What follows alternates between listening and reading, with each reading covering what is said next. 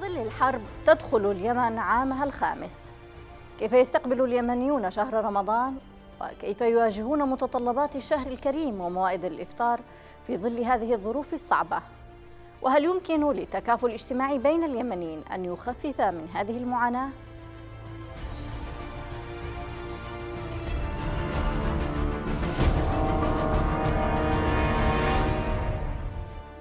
أهلا بكم. وسط انهيار اقتصادي وغلاء جنوني لأسعار المواد الغذائية. يستقبل اليمنيون شهر رمضان المبارك. في مثل هذه المناسبة يبحث اليمنيون عن اسطوانات الغاز وأصناف الحبوب ورقائق السمبوسة وما سواها من مستلزمات مائدة رمضان. ومع صعوبة توفر ذلك إلا أن هناك عشرات الآلاف من الأسر ضاعفت الحرب من معاناتهم. وأصبح همهم هو توفير خيمة تأويهم. أو إيجاد منظمة إغاثية توفر لهم أساسيات الأكل والشرب. وسط هذه الظروف الصعبة تغيب المنظمات الإغاثية أو بالأصح لا تحضر كما يفترض بها أن تحضر بالرغم من ضخامة الدعم المخصص للأزمة الإنسانية لليمن فأين تذهب هذه الأموال؟ وكيف يمكن للمجتمع أن يساهم في التخفيف من المأساة الإنسانية في ظل ظروف الحرب ولا في ظل حرب تدخل عامها الخامس يطرق شهر رمضان أبواب اليمنيين حاملا معه نفحاته المباركة بالإضافة إلى معاناة مضاعفة تجلبها متطلبات هذا الشهر الإنسانية والله رمضان يا أخي جاء في وقت يعني استغفر الله العظيم الناس كلها يعني تعرف الناس ظروفها تعبانة يعني والرواتب كودها يلا تجيبها تصرفها على أصحاب الديون. صراحة فوضع الصراحة ما يطمن. والدنيا كلها غالية. يعني لو أصبح المواطن ما يقدر حتى يشتري رمضان. يعني سامان حق رمضان ما يقدر يشتريها. وفي ظروف اقتصادية أكثر صعوبة من السنوات الماضية يستقبل اليمنيون شهر رمضان هذا العام في ظل ازدياد أعداد العاجزين عن توفير مستلزمات الشهر الفضيل. فمن شهد منكم الشهر فليصمه ومن شهده من اليمنيين فلا شك أنه سيعاني كثيرا في ظل ارتفاع أسعار المواد الأساسية وغياب الدولة وأجهزة الرقابة. النازحون في الداخل فقط يفوق عددهم مليوني نازح تتلقفهم الشمس والرياح عوضا عن المنظمات الإنسانية والإغاثية المعنية. وما يزيد الأمر سوء هو ازدياد أعداد هؤلاء النازحين جراء الحرب. فخلال الأسابيع الأخيرة هجرت ميليشيا الحوثي قرى كاملة في الضالع والبيضاء وتعز وحجة. الأمر الذي يضاعف المأساة اليمنية الممتدة على طول البلاد.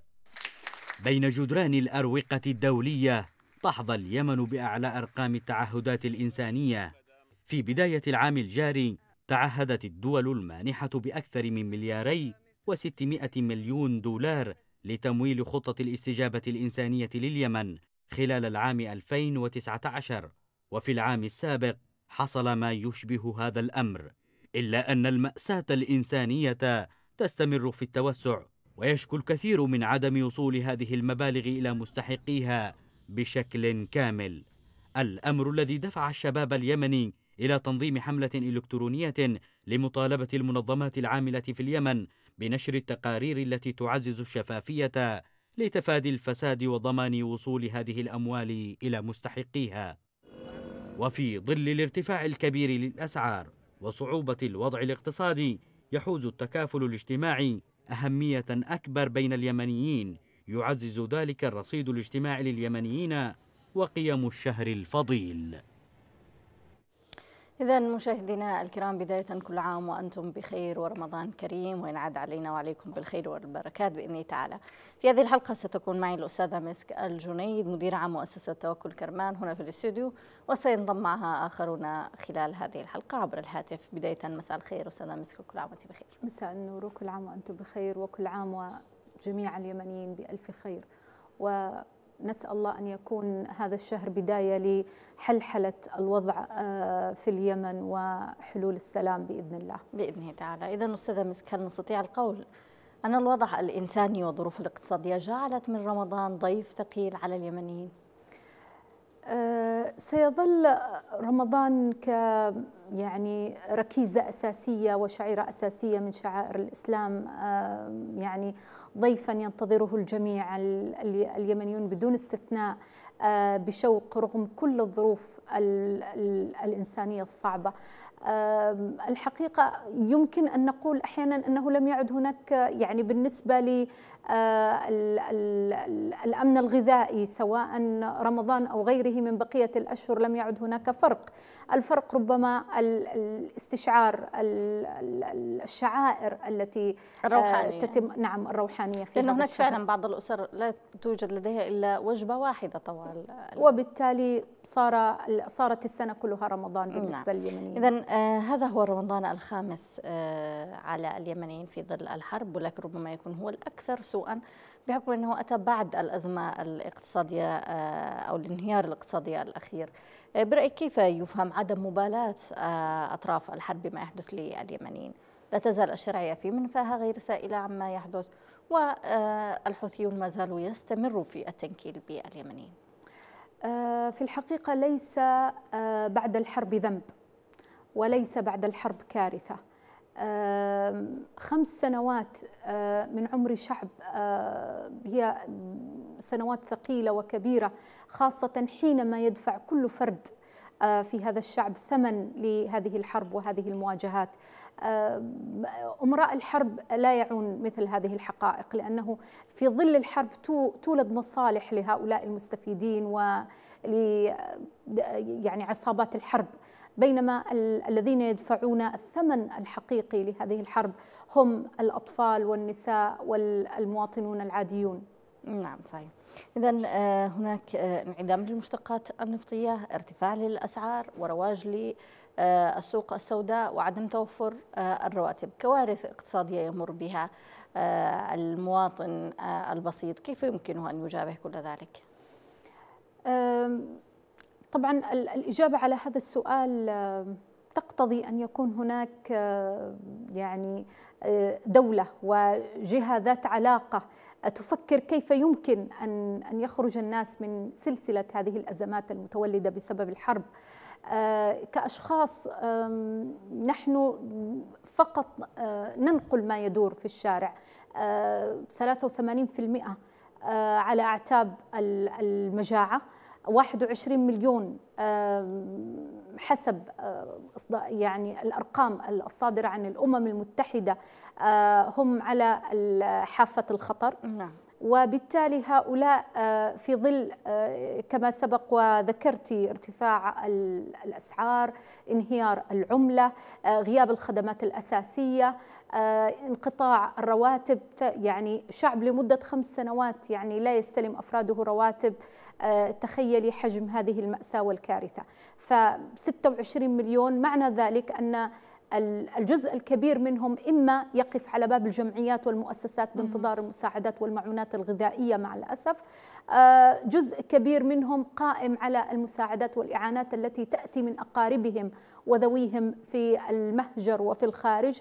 أما البقية الباقية فيعيشون على التكافل فيما بينهم. آه، لو أن مثل هذه الكارثة غزت آه، شعب آه، في مكان ما في هذه الأرض لتعاظمت وتكاثفت هذه الكارثة الإنسانية إنما نظل نعم نقول أن, يعني نحن الشعب الوحيد الذي أن اليمنيين مدة تقريبا نعم, نعم. ثلاث سنوات وهم بلا يعني ندخل في السنة الثالثة تقريبا هم بلا رواتب يعني وهذه أعتقد لم تحدث في أي دولة في العالم أن تستمر الحياة ويستمر آه، ولو يعني بصعوبات شتى يعني خمسة مليون تقريبا عامل فقدوا آه، أعمالهم وموظفو الدولة بلا مرتبات. يعني آه، في مناطق سيطرة الحوثيين من جهة وأيضا مناطق سيطرة الشرعية لا تفرق كثيرا.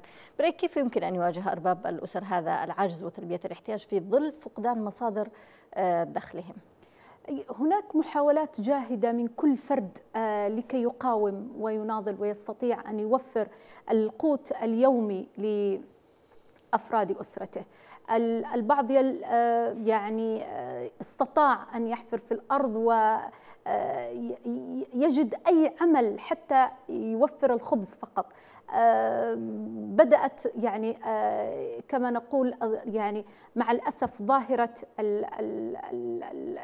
التسول كانت موجودة نعم لكنها صارت الآن يعني بنسبة كبيرة مع الأسف يعني وهذا كله بسبب الضغط الاقتصادي. لا توجد هناك يعني مخارج أو حلول سوى أن ينتظر هؤلاء كما يقال الفرج أو ينتظر هذه المعونات التي قد تأتي وتطرق بابه من أحدهم دون أن يعرف من أين. نعم. إذا آه، أستاذة مسك يعني الحرب نعلم أنها أتت بكارثة على اليمن. قبل ذلك اليمن لم تكن تعيش وضعا اقتصاديا سهلا. كان هناك نسبة كبيرة من آه، الفقراء ومن الجوعى برأيك هذه الحرب كيف فاقمت هذه المعاناة بالنسبة لليمنيين؟ يعني آه، ربما حدث انهيار آه، للبنية التحتية بصورة سريعة فقدان الرواتب توقف المطارات توقف الاقتصاد أيضا منذ أول سنة. يعني دعينا نقول أن أول يعني كارثة حلت على اليمنيين هو يعني هجرة الحكومة الحكومة غائبة غير موجودة خارج البلاد. هذه يعني كارثة حيث يعني كان يأمل اليمنيون أن أن يستندوا إلى دولة حتى في ظل الحرب. لكن الوضع القائم يقول أنه لا توجد دولة انتعشت كما نعلم السوق السوداء اقتصاديات الحرب أو ما يعرف بأمراء الحرب. آه، زادت من تفاقم الأزمة. المشكلة أيضا أن أن هذه المواجهات التي تتسع رقعتها يوما بعد يوم.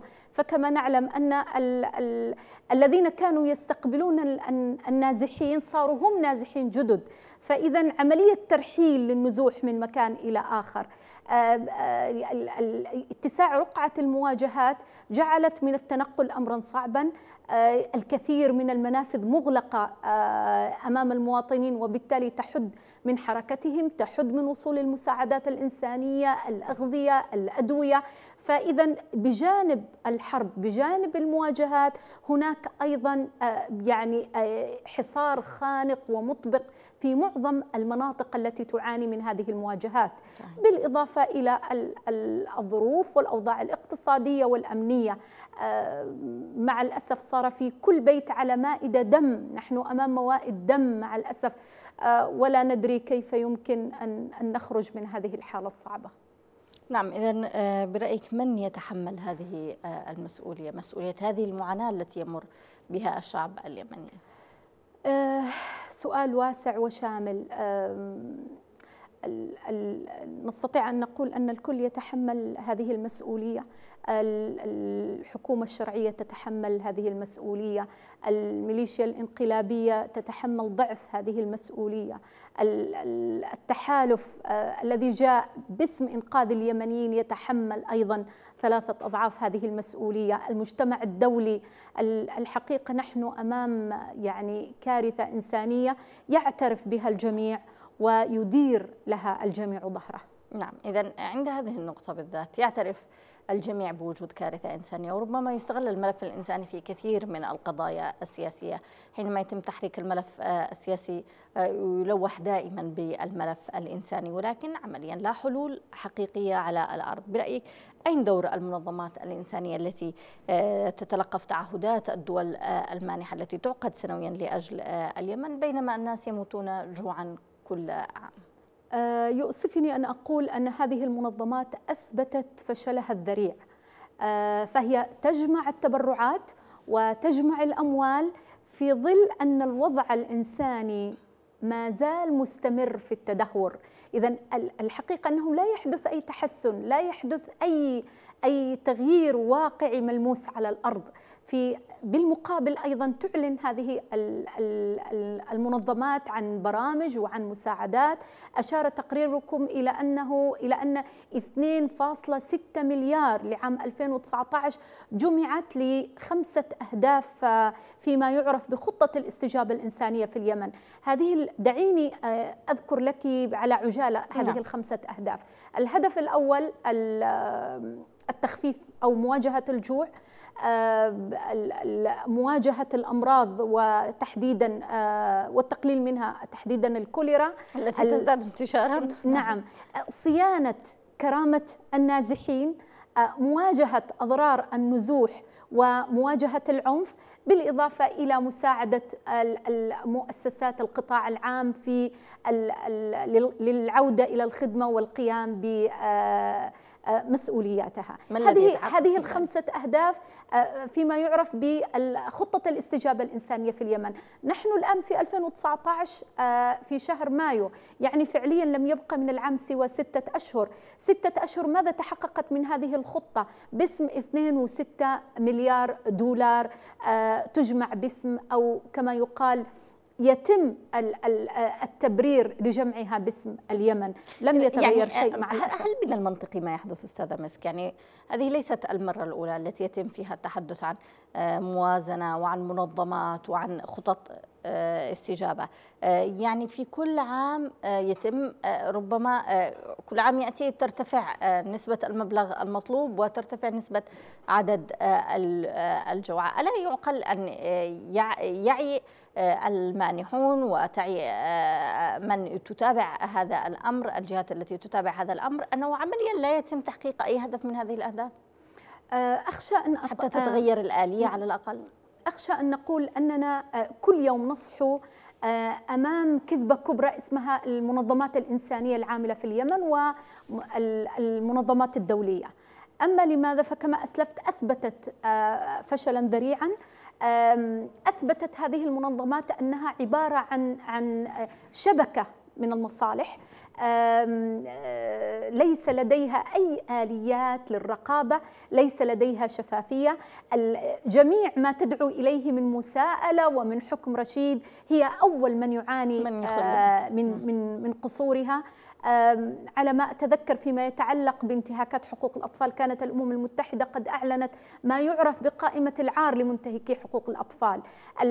هذه القائمة نسيت أن تضيف آه، يعني هي أضافت المتورطين في هذا الشأن في الداخل لكنها نسيت أن تضيف المتورطين الكبار على قائمة العار وربما مع الأسف جزء منهم هذه المنظمات الإنسانية التي لا تقوم بدورها صح. يعني هي حاولت أن تغطي دور الدولة حتى يعني تغطي مسألة عدم ال ال ال ال ال ال ال يعني عدم التوجه لحل سياسي فاعل في اليمن فبالتأكيد لن تستطيع أن تقوم بدور الدولة وليس هناك حل سياسي وبالتالي هي عبارة عن عن جهات تخضع للوبي آه، لشبكات من المصالح آه، تقدم مع الأسف آه، كل يوم مشاريع مكررة. آه، متشابهة آه، يعني هذه المنظمات هي أول من يتحدث عن التشبيك أول من يتحدث عن عن آليات الاتصال لكنها مع الأسف تفشل في التواصل فيما بينها البين بدليل أن كثير من المشاريع هي مشاريع صغيرة ومكررة لا ترتبط بحلول نهائية نعم. وغائية يعني هي مشاريع مؤقتة مشاريع الإغاثة لا ترتبط مباشرة بمشاريع تنموية بعيدة الأثر. نعم يعني سنتحدث عن هذه اللحظه مع صحيح سنتحدث عن هذه النقطة أستاذة مسكو لكن بعد أن ينضم آه، معنا الأستاذ مصطفى آه، نصر رئيس مركز الدراسات والإعلام الإقتصادي عبر الهاتف. مساء الخير أستاذ مصطفى. أهلا وسهلا مساء الخير. أهلا بك. أستاذ آه، كريم لك وللمشاهدين الكرام. علينا وعليكم إن شاء الله أستاذ مصطفى. وبرأيك ماذا أضافت الأزمة الاقتصادية الأخيرة لهذا العام مقارنة برمضان الفائت؟ آه، في الحقيقة أنه آه، كل عام يمر آه، تزداد الحالة الإنسانية صعوبة يزداد الوضع الإنساني تعقيدا وصعوبة على المواطنين. جراء تدني أو تراجع مؤشرات التنمية تزايد معدلات الفقر ارتفاع الأسعار الذي يسجل مؤشر آه، مرتفع آه، للغاية كل كل سنة بل كل شهر.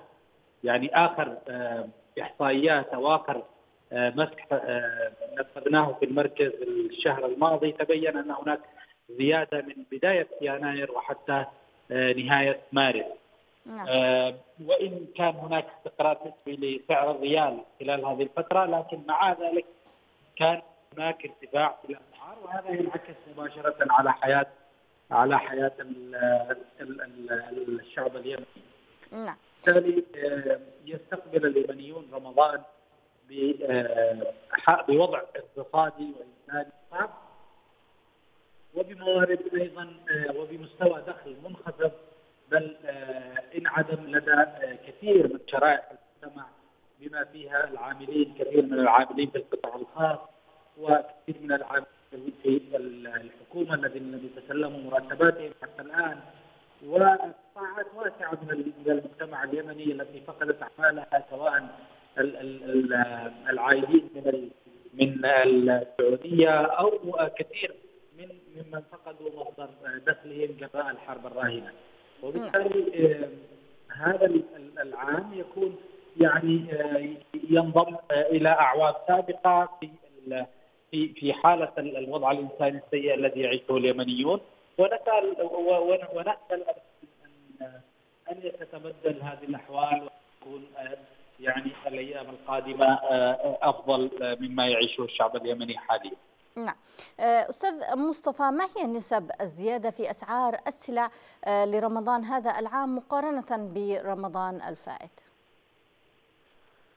تقريبا كانت الزيادة هي خلال العام الماضي يعني بزيادة تجاوزت ال 20% في أسعار آه، السلع كمتوسط آه، بسبب آه، تراجع سعر الريال لو تتذكري في في 2018 انهار الريال وصل إلى ما يقارب 900 للدولار الواحد وهذا أدى إلى ارتفاع نسبة الأسعار بشكل كبير للغايه ومع حالة التراجع النسبي إلى إلى حدود ال 500 550 لكن مع ذلك الأسعار لم تعد آه، إلى إلى الوراء إلا بنسب بسيطة جدا آه، في بعض المحافظات.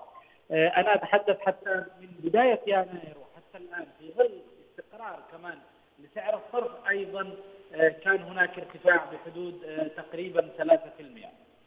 هذه الزيادة لها الكثير من من من من العوامل أبرزها ما يتعلق بمشكلات النقل ومشكلات الحواجز وفرض الإتاوات والرسوم المتعددة اللي يفرضها آه، تفرضها جماعة الحوثي في أكثر من من من مكان وأيضا آه، تشريعات جديدة وإجراءات جديدة اثقلت كاهل المواطنين بالإضافة إلى ما أيضا الابتزاز الذي يتعرض له النقاء التجار والمستوردين في نقاط متعددة سواء يعني آه، تابعة آه، لمناطق نفوذ الحكومة الشرعية أو آه، بعض الفصائل المسلحة أو كذلك أيضا يعني من قبل جماعة المسلحيها في مناطق متعددة.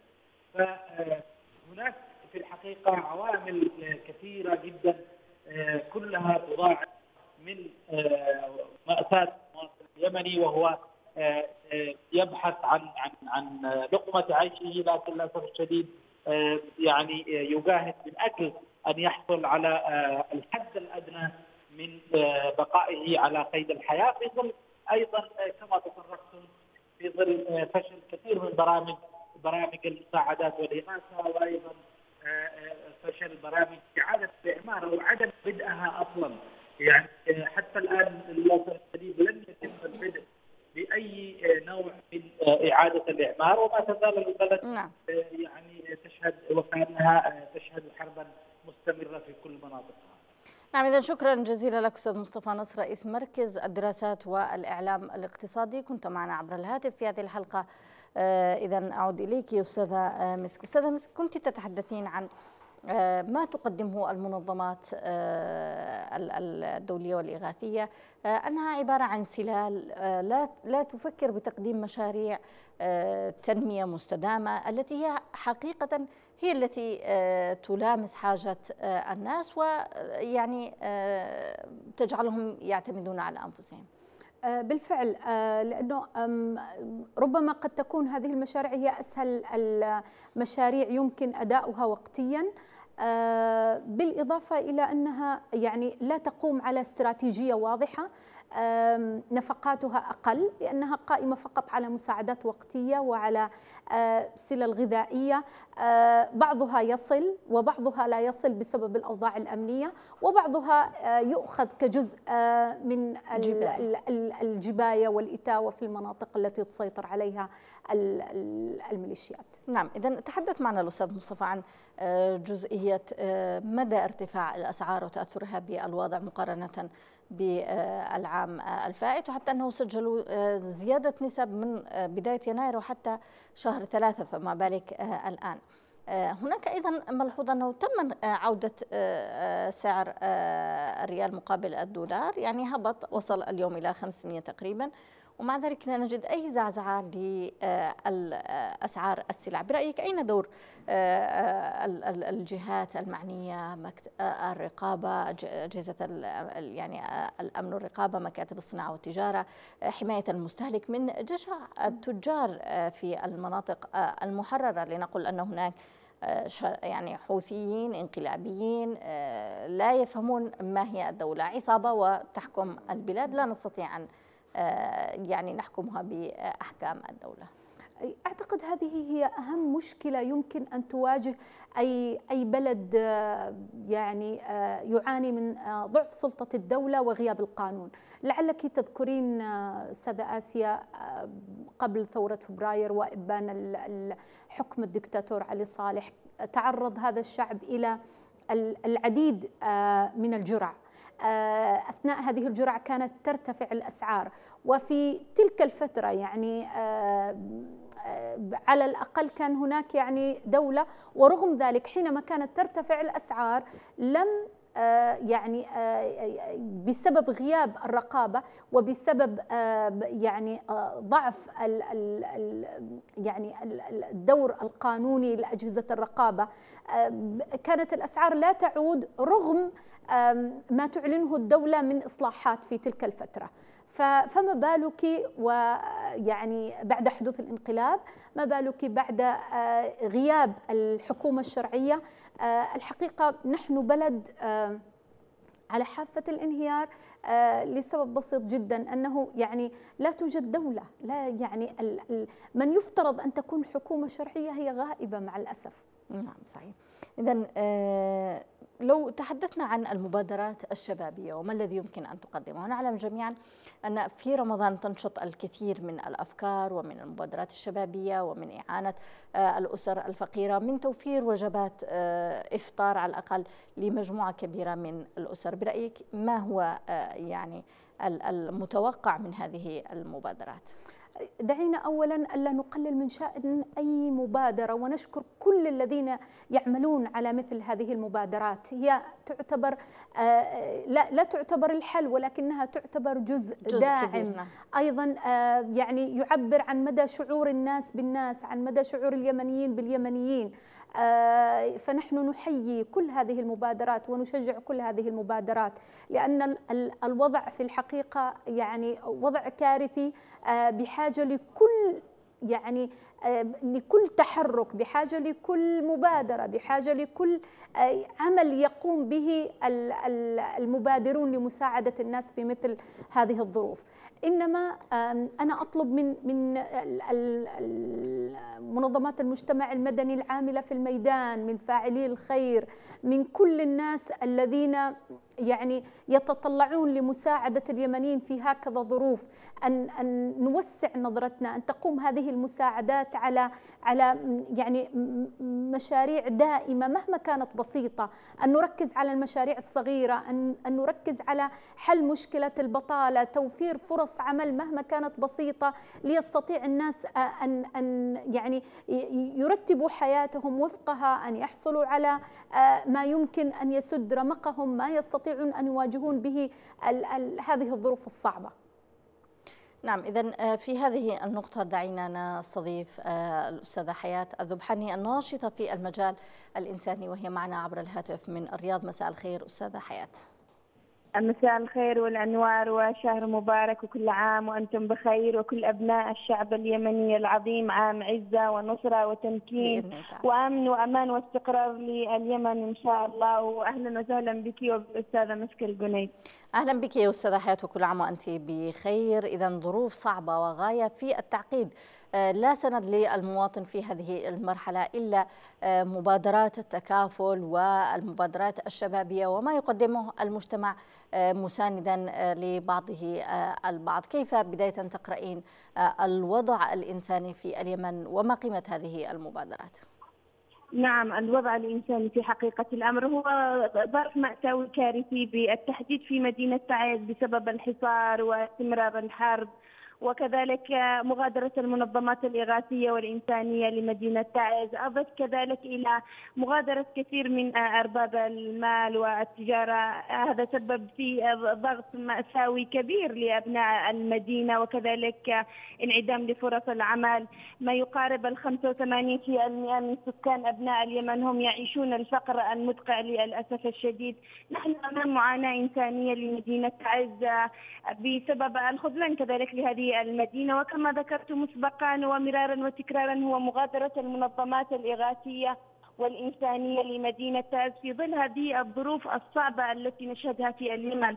نحن أمام معاناة كارثية بحجم الكون فعلا ولا أبالغ أن أن أتعصب لهذه المدينة. مدينة تعز ما يقارب الخمس سنوات وهي في حصار وفي كذلك ضيقة من العيش. سكان هذه المدينة لا يتعاطون آه، سوى وجبة واحدة في اليوم بنسبة ما يكون 85% نحن نستغل فرصة لشهر رمضان المبارك مبارك لندعو الجميع بأن يبث روح التكافل الاجتماعي لأبناء مدينة تعز ونحيي جميع المبادرات الشبابية والجمعيات الخيرية والمؤسسات وكذلك المنظمات التي تحاول بقدر المستطاع إنقاذ ما يمكن إنقاذه في اليمن وفي حقيقة الأمر هناك نماذج رائعة عكست جمال العمل الخيري نعم. في مدينة تعز واستطاعت هذه المدينة فعلا أن تقدم الجميل وأن تقدم نموذج رائع للعمل الخيري والإنساني على مدار ما يقارب الخمس سنوات بالتحديد. نعم هذه هي المبادرات أستاذة حياة. يعني برأيك ما الذي آه، تحتاجه حتى آه، تستمر؟ نعلم أن أغلبها هو آه، طوعي معتمد على نفسه معتمد أيضا على بعض المساعدات بشكل شخصي من بعض المغتربين. وربما من يتابع صفحتك يجد يعني أنك بين فترة أخرى تقومين بالإعلان عن بعض الحالات الإنسانية ويتم توفير ما يتوجب لهذه الحالة أو تلك. نعم ما يدعو كذلك لاستمرار هذه الأعمال الإنسانية والإغاثية هو العمل المؤسسي لكل تلك المبادرات وكذلك الجمعيات التي هي طور الإنشاء والتأسيس. العمل المؤسسي يستمر وكذلك يكسب ثقة الداعمين ويكسب كذلك ثقة الجهات المانحة والداعمة، نحن تفاجئنا في الفترة الأخيرة بأن هناك منظمات في في الحقيقة تتاجر بمعاناة أبناء مدينة تعز، يعني لك أن تتخيل تخيلي آلاف الدولارات بل وملايين ومليارات الدولارات تذهب أدراج الرياح ولا يستفيد منها المواطن في مدينة تعز. بسبب فساد هؤلاء القائمين على هذه المنظمات وبسبب آه، عدم تصدر آه، آه، المخلصين الأوفياء الشرفاء للمشاركة في هذه المنظمات. أو بالمعنى الأصح عدم قدرتهم للوصول إلى هذه الجهات الداعمة التي تحاول أن تنقذ الجوعى والفقراء والمساكين في اليمن. الوضع فعلا مأساوي ويستدعي من من يتصدر العمل الخيري والإنساني في مدينة تعز أن يدلي بدلوي في هذا المجال وأن يفتح الطرقات أمام هذه المنظمات ليعكسوا فعلا الصورة الجميلة وأن يزيلوا ذلك القبح والإساءة التي أساء إليها البعض للأسف الشديد ممن تصدروا هذه آه، المنظمات التي هي تشارك في قتل أبناء مدينة تعز وتشارك في تركيعهم وتشارك كذلك في وفي زيادة آه، المعاناة للأسف الشديد وهي دعوة لكل أبناء مدينة تعز أن يفضحوا هذه المنظمات والذين يتاجرون بها وأن يقوموا بإغلاق هذه المنظمات لأنها تساهم في تجويع أبناء مدينة تعز للأسف الشديد. نعم. هل آه، يعني آه، أو ما مدى مساهمة الشرعية في هذا يعني الابتعاد عن مأساة اليمنيين خاصة في تعز الذين يواجهون الحصار كما قلت يواجهون الحرب يواجهون قلة حيلة ذات اليد خاصة مع قدوم شهر رمضان المبارك. للأسف الشديد لقد أسمعت لو ناديت حيا ولكن لا حياة لمن تنادي. الحكومة اليمنية للأسف الشديد والشرعية لم تلتفت إلى أبناء مدينة تعز كما ينبغي بل هذه المنظمات هي تعمل تحت ستار الشرعية وبترخيص من وزارة الشؤون الاجتماعية والعمل. تفتقر كذلك هذه الشرعية إلى إيجاد الجهاز المركزي للرقابة والمحاسبة ومتابعة هذه المنظمات التي تعبث بأبناء اليمن ليس فقط بتعز بل بأبناء اليمن قاطبة نعم. أضف كذلك إلى أن الشرعية لم تتخذ الخطوات اللازمة والصارمة لإيقاف مثل هذه التصرفات الهمجية من هذه المنظمات التي كما ذكرت أنها تزيد من معاناة أبناء اليمن وأن الحكومة الشرعية لم تقم بواجبها تجاه أبناء مدينة تعز في أن توجد البرامج الإغاثية المرتبة والمنظمة لكي يتسنى لجميع أبناء مدينة تعز أن يستفيدوا من المواد الإغاثية وكذلك القوافل الطبية التي تدخل إلى مدينة تعز أضف نعم. كذلك نقطة مهمة وهي أن الشرعية لم تفتح الأبواب أمام المؤسسات الخيرية التي يشهد لها بالنزاهة وبالأمانة وبالثقة وبتحمل المسؤولية لكي تكون ضمن وزارة الشؤون الاجتماعية والعمل ويتم التعاقد معها عبر البرامج الإغاثية التي تدخل إلى الجمهورية اليمنية. نحن نناشد الرئيس عبد الرب منصور هادي ونناشد الحكومة الشرعية ونناشد كل المخلصين والشرفاء نعم. أن يكونوا نتمنى أن تصل هذه المناشدات الشعب اليمني يموت الشعب اليمني يقهر. صحيح. الشعب اليمني و و و وتعز للأسف الشديد أستاذة حياة هي صورة مصغرة عن واقع اليمن آه، الكبير وما يحدث فيه سواء آه، من كانوا تحت سيطرة الانقلابيين أو للأسف الشديد من آه، هم في آه، يعني يعدون في المناطق المحررة. وتعز بين البينين. شكرا جزيلا لك حياة الذبحاني الناشطة في المجال الإنساني. كنت معنا عبر الهاتف من الرياض. عودة إليك أستاذة مسك. أستاذة مسك لو تحدثنا عن مؤسسة توكل كرمان هل لكم دور تساهمون فيه في المجال الإنساني والإغاثي؟ مؤسسة توكل كرمان تعمل في ثلاثة مجالات رئيسية آه، ذات علاقة وثيقة بكل ما يحدث في بلدان النزاعات وتحديدا في اليمن. آه، كوننا جزء من من هذا البلد الذي يعاني هذا النزاع والصراع. آه، نحن نعمل في ثلاث مجالات رئيسية. نعمل في التنمية والديمقراطية والسلام. فيما يتعلق بالتنمية في الفترة الحالية نحن نركز على الأنشطة الإغاثية والمشاريع الإغاثية العاجلة ونعمل أيضا على صعيد ال ال ال الإغاثة العاجلة ذات بعد أيضا يعني وذات أثر مستمر وليست بعد لحظي.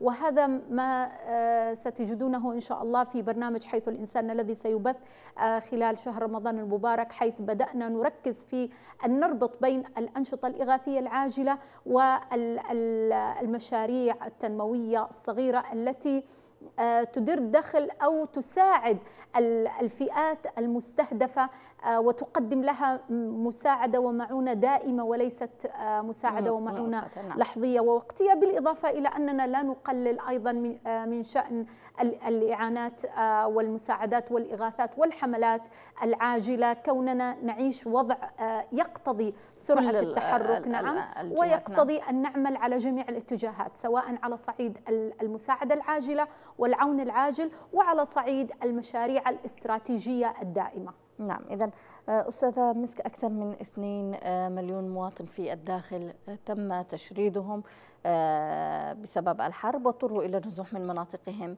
ومنازلهم يعيشون ظروف صعبة نزوح وفقر وعدم توفر أساسيات الحياة المعيشية وانعدام لمصادر الدخل أيضا ويواجهون ارتفاع الأسعار في المناطق التي نزحوا إليها كيف يمكن أن يأتي رمضان على هذه الفئة؟